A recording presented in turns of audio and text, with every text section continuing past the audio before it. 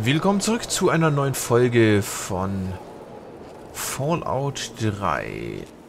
Immer noch beim Operation Anchorage DLC. Ah, ein Stealth Boy könnten wir uns mal noch starten. Der wäre vielleicht auch gar nicht so dumm, wenn ich mal ehrlich bin. Ich denke mal, schaden kann es nicht. So, wir müssen aber jetzt erstmal hier unten rum.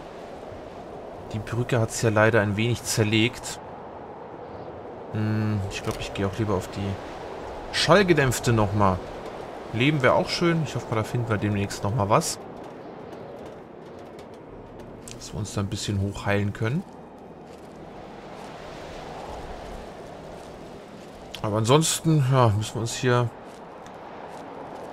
ein wenig Ruckland zufrieden geben. Ich probiere mal vielleicht, wenn ich eine andere Dextery-Version nutze. Vielleicht geht das ja dann tatsächlich besser. Vielleicht nach der Folge mal ausprobieren oder nach der Folge mal umstellen.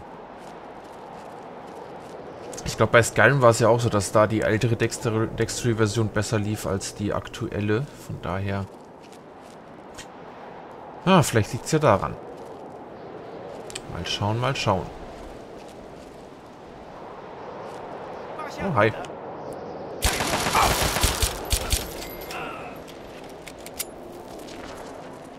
Kommt der einfach zum Spielen hier runter.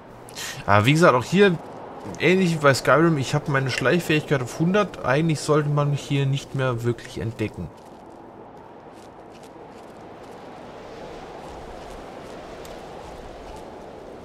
Aber gut. So einfach wird das dann nicht ganz gehandelt.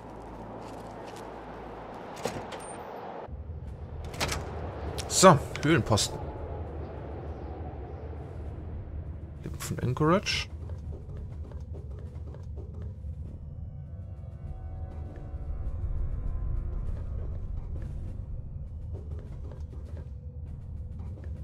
Hm.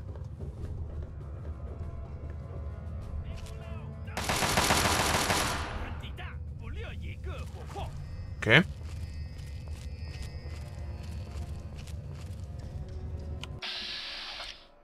So, irgendjemand hat hier gerade irgendwas weggeballert. Ändern wir das doch mal.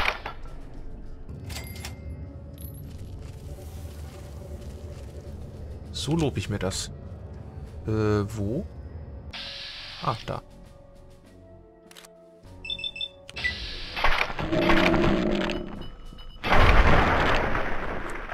So, du darfst dann nämlich auch mal weg, mein Freund.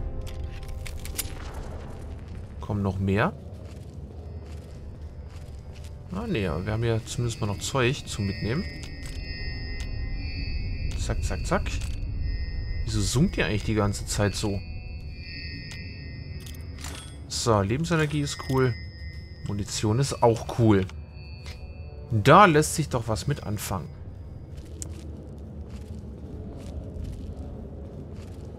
Ah, Gaussgewehr. Das legen wir uns mal auf, ich weiß gar nicht, 5. Die wäre noch frei. Dafür brauchen wir halt dann die Zellen. Also das füllt sich mit, der, mit diesen Munitionspacks nämlich nicht mehr auf. Oder nicht automatisch auf. Aber das ist halt auch eine relativ starke Waffe. Weiß gar nicht, geht die dann auf Elektro? Ich glaube ja fast schon. Flupp, da fallen noch Sachen runter.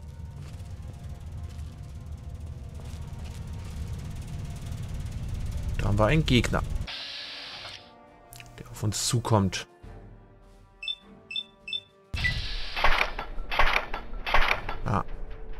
Hätte ich vielleicht manuell schießen sollen.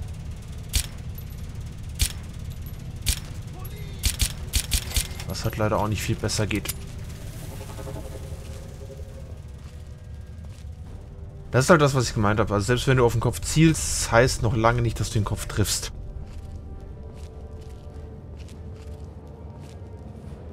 Aber bisher komme ich mit dem Schleichen ja ganz gut voran.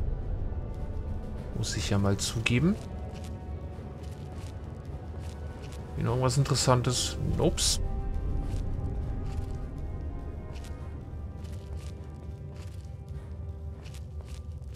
Dann mal ab rein hier.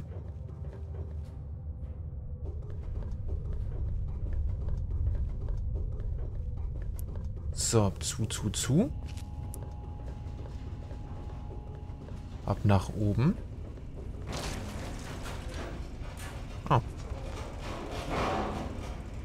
Ah, Hallöchen. Na? Verdammt, an diesem Ort wimmelt es nur so von Roten. Fast hätte ich es nicht geschafft. Wie haben Sie, wieso haben Sie denn so lange gebraucht? Ja, ja. Brechen Sie sich bloß nicht den Arm, wenn Sie sich selbst auf die Schulter klopfen, Grünschnabel. Sie haben den einfachen Weg genommen. Also, wie sieht die Lage aus? Hauen wir ab und jagen den Ort hier zur Hölle? Ähm, warten Sie mal eine Sekunde. Haben Sie noch Munition übrig? Ja, ich kann auch ein paar Patronen abgeben. Gut, dann gehen wir. Ich gebe Ihnen Rückendeckung. Das ist nett. So, drei Artilleriegeschütze sollen wir zerstören. Naja. Schauen wir doch mal. Ich glaube, sonst war hier nichts Interessantes mehr, oder? Nee. So, die Klippen. Vorsicht, in der Nähe dieser Ränder. Dort geht es verdammt tief runter. Mhm. Aber du kannst ja dann notfalls wieder hochklettern. Auf. Wir haben Gesellschaft vor uns. Ja. Den kann ich doch bestimmt mal wegsnipern, oder? Mit auf 3 hatte ich, glaube ich, das Sniper. Jawohl, ich bin mal gespannt. Wie gesagt, ich ziehe es genau auf den Kopf. Und treffe nicht. Treffe immer noch nicht. Das ist halt eben das Problem. Kommt schon, ihr harten Mistkerle. Ziele gesichtet. Angriff eingeleitet.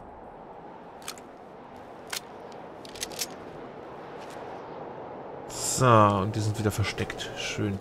Kommt schon, ihr roten Mistkerle. Ah, oh, ich... Hm, Hitboxen sind halt auch mal wieder toll. Boah, ich bin die ganze Zeit echt so viel am Meckern. Aber es läuft halt auch nicht so, wie ich mir das vorstelle. Ich bin es halt einfach, glaube ich, von... bin, glaube ich, echt zu verwöhnt, was, äh, was Skyrim angeht, dass ich da deutlich besser durchkomme. Kommt schon. Ist das alles, was ihr drauf habt? So, du hast ja auch ein bisschen hier aufgeräumt. Ähm, hier gab es auch noch ein paar Sachen zum Erkunden und äh, versteckte Sachen. Von daher, ich weiß gar nicht, müssen wir... Wo müssen wir denn hin? Ich glaube, wir müssen da hoch. Von daher schadet es mal nicht, hier unten vorbeizuschauen. Über dieses Rohr sollen wir drüber? Und ich dachte, ich wäre hier der Lebensmüde. Ah ja, passt schon. So, na gut. Da ist zumindest Leben. Ansonsten... Einsatzspeicher. Aha. Könnten wir uns halt rein... Packen. Ähm, was sagt eigentlich... Haben wir eine Karte hier überhaupt? Yep, haben wir sogar. Höhlenaußenposten. Schauen wir vielleicht erstmal hier noch rein. Nein. So schon mal nicht. Machen wir es doch auch mal so. Genau, hier diese Dinger. So, ein von zehn Informationen. Ich hoffe mal, dass ich alle finde. Es gibt nämlich bestimmt... Ähm... Zack, zack, zack. Entschlüsselung. Dragoniermission, die CH3-Anlage eingenommen haben, haben sich bei ihrer, bei ihren, achso, das sind, die waren, das war halt nicht komplett übersetzt, zwei an drei Angriffen östlich der Klippen zunutze gemacht. Achso, die östlichen Klippen zunutze gemacht. Ähm, ja, diese Klippen sind verteidigungsunfähig zu lassen, ist gefährlich, bla bla, ist in Ordnung. Ja, wie gesagt, ist halt so ein bisschen rumgebla von denen. Von den Chinesen.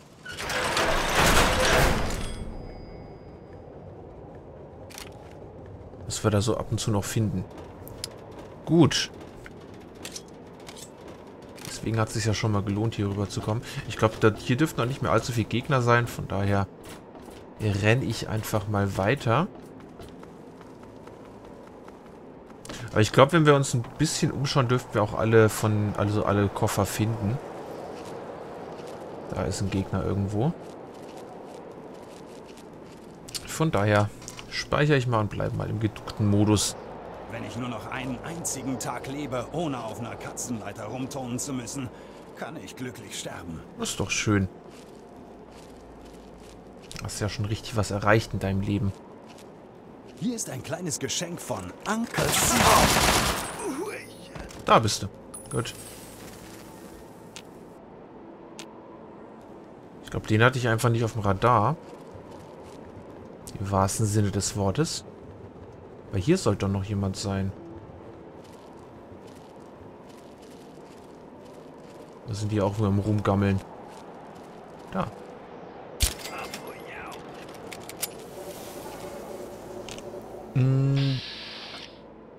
Okay, da brauche ich ein Scharfschützgewehr. Obwohl, die sind gar nicht mal so schlecht, die Werte hier. Aber ich glaube trotzdem sind wir dann...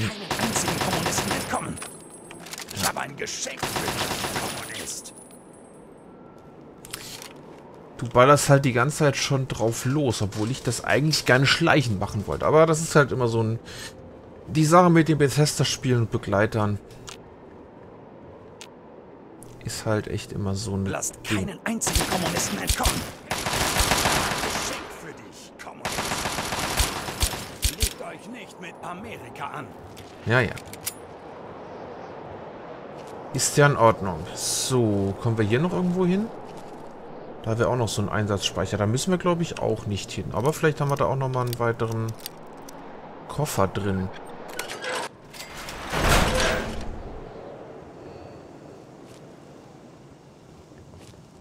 Mal schauen. Nee, aber ein Holoband. Stimmt, das andere habe ich mir noch gar nicht angehört. Anfang des Audioprotokolls. Hier spricht Captain Zachary Lloyd, US-Armee, Sicherheitsabteilung Anchorage, Alaska. Seit zwei Stunden ungefähr greifen uns die Chinesen an. Von überall her krachen Geschütze auf uns ein. Die ganze Basis wird von Schiffen aus bombardiert. Denen ist es egal, wen sie treffen. Alles weist darauf hin, dass sie sogar mehr von den Iren als den unseren getötet haben. Ihre eigenen Soldaten sind denen offenbar vollkommen egal. Wenn es so weitergeht, haben wir in weniger als einer Stunde nur mehr einen Friedhof hier. Dann rücken die Chinesen ein und schlagen ihre Zelte auf. Gott stehe uns bei. Gott stehe Amerika bei. Hm.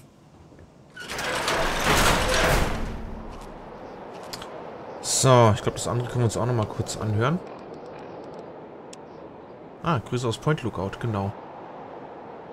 Äh, das werden wir auch noch machen, aber ich glaube, den machen wir auch relativ zum Schluss. Das war nämlich gar nicht mal so einfach. Marley, ich hoffe, du wirst dieses Band irgendwie bekommen. Ich habe nicht viel Zeit. Aber Hinter du musst dieser erfahren, nächsten Anlage befindet sich der Eingang zur Artilleriebasis. kein Quatsch. Die Chinesen Ahnung, sind hier. erwartet. Das heißt, sie fallen Also, in großen Zahlen in. Anchorage ein. Genau in diesem Moment. Jetzt geht's ums Eingemachte. Dagegen war Pearl Harbor eine kleine Schießübung. Ich habe noch nie so viele Kriegsschiffe auf einem Haufen gesehen. Sergeant Lowry hat dem Zug befohlen, sich in 15 Minuten in der Messe zu versammeln. Wir sollen uns auf den Klippen verschanzen und den Vormarsch der Chinesen bremsen, bis das Zivilpersonal herausgeschleust werden kann. Danach halten wir die Linie möglichst lange. Ich habe mit Durney, Cielo und Dallas gesprochen. Wir sind uns einig, dass wir uns nicht ergeben dürfen. Ich habe es dir nie gesagt, aber es war diese Nacht in Cleveland, auf dem Riesenrad, in der ich mich in dich verliebt habe. Leb wohl, Molly. Es... es tut mir leid. Private Henry Hodges meldet sich ab. Ah, Das war's dann wohl mit dir. Na ja, gut, war, die wussten zumindest mal, was auf sie zukommt. Äh, Höhlenpassage könnten wir auch noch. Ich glaube, da können wir das irgendwie umgehen, oder? Kann das sein?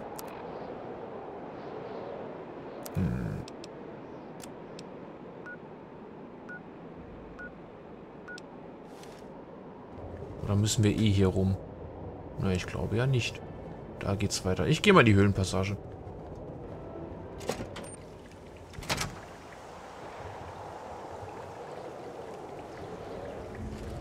Wie gesagt, vielleicht ist das ja ganz interessant hier.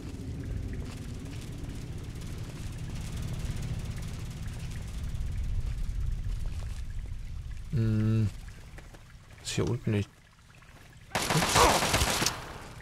Raus aus meinem Land! Komm aus! Ich habe ein Geschenk. So, du kannst da mal weg.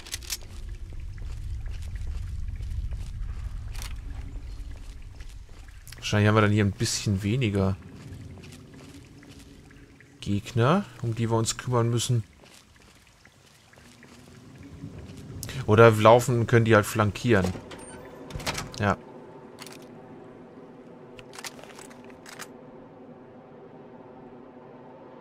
Da läuft jemand.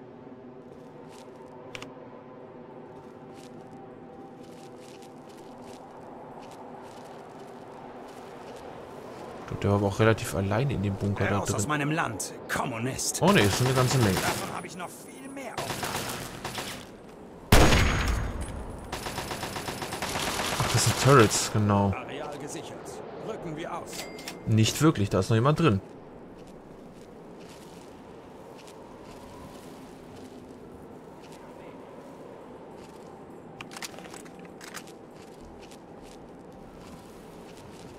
Naja. Wir hätten, glaube auch das Geschütz hier umprogrammieren können.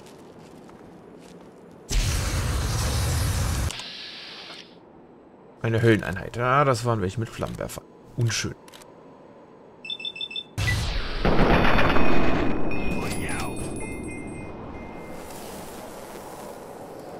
So. Da jetzt hier aber kein Geschütz mehr drin ist, lohnt sich auch nicht mehr, das umzuprogrammieren oder zu hacken. Wird halt ein paar XP geben, aber pff, passt schon. So, ich würde sagen, wir räuchern da oben den Bunker mal noch aus. Oder versuchen es zumindest mal.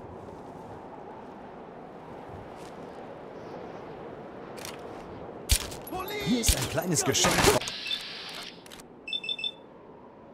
Hm, ich hätte eigentlich dich mit einem Schuss zerlegen sollen.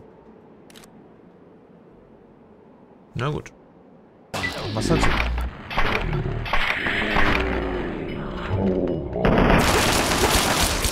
dich, Kommunist.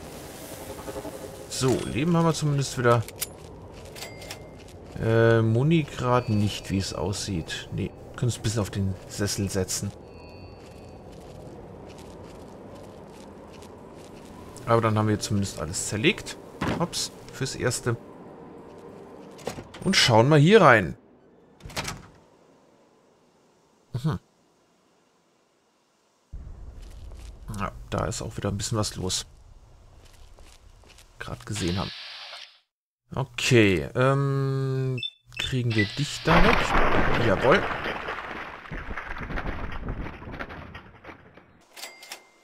Kriegen wir...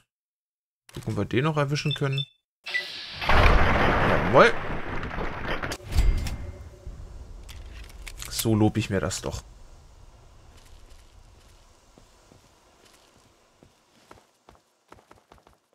weiß auch nicht, ob hier noch irgendwie Gegner unterwegs sind. Naja, ich bleib lieber mal im Schleichmodus.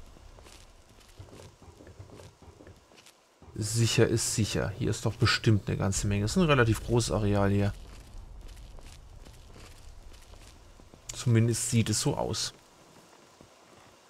So, gucken nochmal, ob nicht irgendwo noch Koffer rumstehen. Da steht zumindest ein Gegner rum.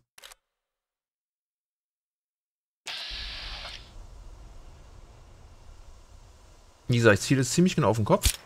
Und der geht daneben, der Schuss. Das ist halt eben... Das ist halt kein Shooter. Und wie gesagt, deswegen nutze ich halt eben Wets. Weil es mir das dann doch etwas einfacher macht, was äh, hier halt nicht so läuft, wie ich mir das wünschen würde teilweise. Nee, dich würde ich äh, eher weniger abschießen. So, zack. Dann bist du mal noch dran.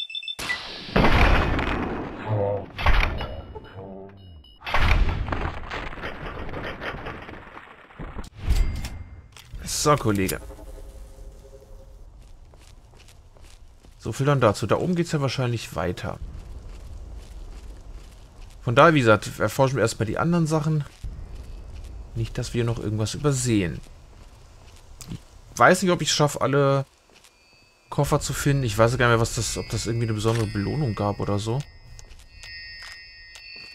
Aber wir werden es dann sehen. Wahrscheinlich gibt es ein Achievement. Allein dafür lohnt sich ja schon. Schon jetzt haben wir zwei Geschütze, äh, zwei Scharfschützengewehre. Ich weiß gar nicht, gehen die Sachen hier kaputt? Es könnte sein, dass die Waffen hier gar nicht kaputt gehen.